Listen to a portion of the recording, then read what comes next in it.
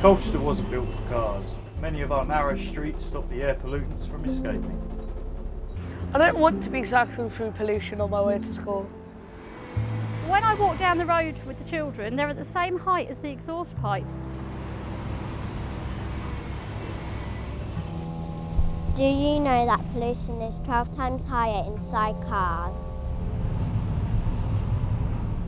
In parts of Colchester, the air pollution is above national guidelines.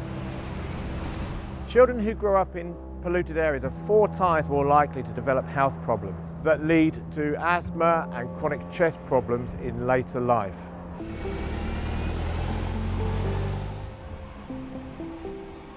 I'm moving because of the traffic. I can't have the windows open because of the fumes.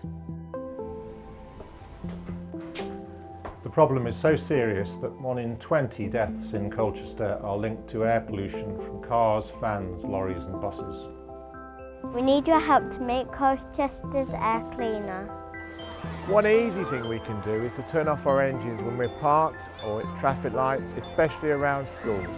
Doing that can cut pollution by up to 30%. One in four journeys made by car are less than two miles. By walking, cycling or scooting, people can make a great difference to their health. I love cycling to school because I can take a different route to the cars. We prefer to walk away from the busy roads in our great green spaces. The council have made some of our buses cleaner and they want to do more.